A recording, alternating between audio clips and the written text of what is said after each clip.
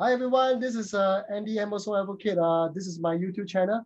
And uh, today I have a very interesting friend. What happened is uh, we are like totally in a different uh, in a different uh, part of the uh, globe now. Yeah. like I'm in Singapore and you are in? Which country you are in now? In Chile. I'm Chile. 12 hour different. Here is Oh 10 in the morning, imagine. Oh my God, thank you so much because it's like 10 p.m. now. So it should be about, is it 10 a.m. over there now? Yeah, 10 in the morning. It's 10 12 hour different. Oh, okay, okay. Thank you so much. Not, not that bad, not that bad. Okay. Uh, so maybe without further ado, uh, without me uh, saying too much, maybe I let him introduce himself, and uh, maybe you can tell us your name, uh, what company you represent, and uh, what do you do? Yeah, great. Thank you, Andy. Uh, my name is Cristian Gallardo. Uh, today, I'm working in, in a full time, let's say, with my agency, uh, Pulsoline. Uh, we help company in marketing and sales, help them how to go local. It's basically the, the motto uh, of my agency in order to take it out all the friction in, sales and marketing, customer support. Uh, the main market for us is uh, uh, Europe, uh, Latin America, and now getting close to Asia um, my main can I say expertise is focused business development, e-commerce, uh, sales, uh, marketing online. I see. Thank you so much. Um, I'm very uh, honored to be uh, invited by uh, Cristian to his uh, one of his event. What do you think of the e-commerce market now, in you know in Chile, you know, uh, where you are now? You know, how how's the e-commerce market there? Yeah. Um, I've been working close, of course, with Latin America uh, market, and usually for the foreign company, a European company, maybe Asian company or company for the United States, they will be hesitating if Latin America is a good market or not for e-commerce. Okay. because usually they compare the KPIs of uh, you know, Germany, France, United States, or Japan, or Mm. other markets. Right? I say mm, those markets are doing amazing job. They have a really good KPI, a lot of uh, um, checkout conversion, super good. But in Latin America, it's super poor. I mean, always it's kind of difficult. It's a huge market, more than 300 million people, but it still it's not in the you know in the top of the way. But what happened that today uh, during pandemic, because still the pandemic is here, like in so many countries uh, uh, around the world, uh, there are so many people purchasing online. So what I can say now, the potential always was here, always with the potential of the, the market. But today, the people is have the will to pay online. They're not afraid because they don't have other choice, right? Because they're at home, uh, they have to purchase. And if you take a look, uh, everyone, uh, people that following the, the subscribers of your channel or, or, or yourself as well, you take a look the KPI, the metrics, and it's a huge boom. I mean, there is booming now in e-commerce. Uh, you are in the e-commerce arena, you are expert in e-commerce, and I think that if one of your students or your colleague or friends ask you uh, which market I should try, I think Latin America is, is, a, is a great market today. And it keep growing and growing and growing. Uh, if you ask me what is the status today of e-commerce, we keep growing. The pace is super fast. Uh, I think this is a, it's amazing time to, to come here, came from Asia, I bring some products and try to uh, make some good business in the region. Uh, are you a soccer fan? Uh, also. Uh, okay, so there's uh, the Copa, you know, America now, which is uh, happening now together uh, concurrently with uh, Euro, right? Yeah, and I'm also watching as well. Uh, and uh, I think the part of you know this this part of um you know the world is a very interesting part because uh I, I do not really have a lot of friends who are e-commerce seller or doing something related to e-commerce. So you're you're one of them, and uh, I'm very happy to know you and to learn more from you as well. yeah, thank you. um, I believe the pandemic changed a lot of things. Um, and um, you know, whenever we have a pandemic, every time we grew stronger. Okay, uh, over the Sure. years, you know, many many years, centuries. Every time after the, you know, even you know all the uh, the Spanish flu, all the big uh, pandemic, all the world became stronger. So had the pandemic changed the way people do e-commerce in your country as well?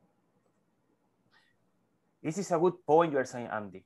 Uh, the people, I think, when you are in the middle of the pandemic or kind of a, a, an earthquake, you know, this kind of phenomenon that are super, uh, uh, super massive or super negative from the from the society point of view. But at some point, that you make it stronger because you have to find new ways how to make business or new ways how to survive.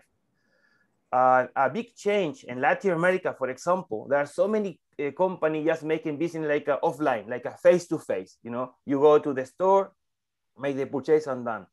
And they know, uh, they knew that the, let's say five, six years ago, e-commerce was starting growing and growing in Latin America, but they say, okay, let's do it later. E-commerce for now is, is fine.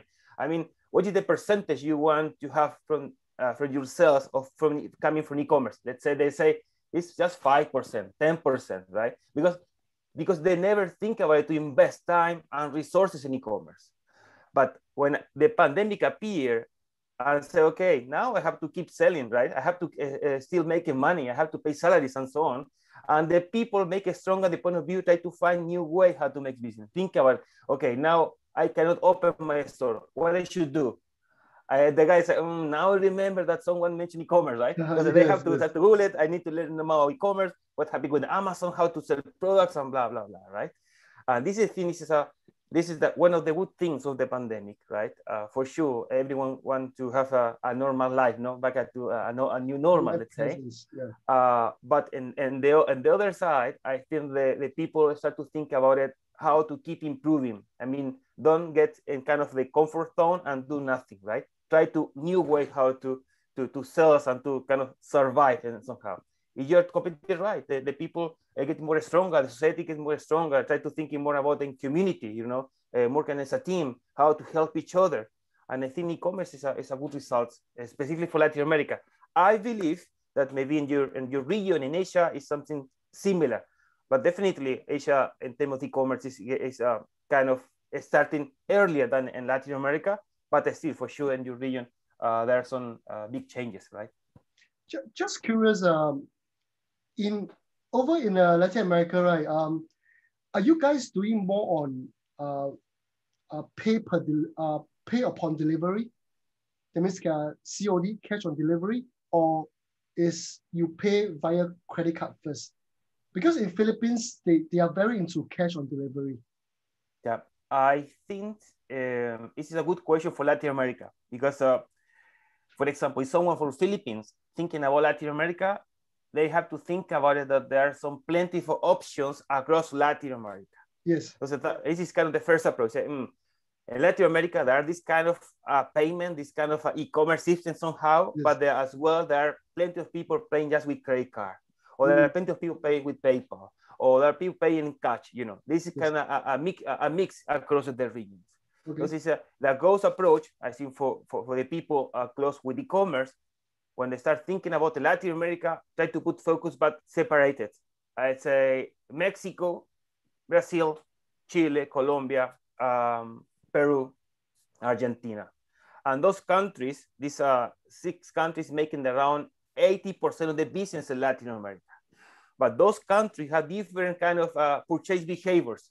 Let's say 80% of Chileans, they prefer we pay with credit card. Oh, okay. you know. But in Mexico is different, you know. In Mexico, I think the 30 to 40 percent they prepare uh, they prefer to pay in cash with cash payment. Sure. And Brazil, kind of a mix. And this is interesting thing connected with e-commerce. You know, the, the purchase behaviors in Latin America, even where the same continent, quite similar culture, uh, the purchase behaviors is different. The people prefer to purchase in different ways. You know. I see. Thank you so much uh, for for coming up to my uh, YouTube channel to let us uh, to let me interview you. And I hope that you know once the pandemic is over, I can see you in uh, Mike's event soon also again in China, uh, the global for, um, from Asia events.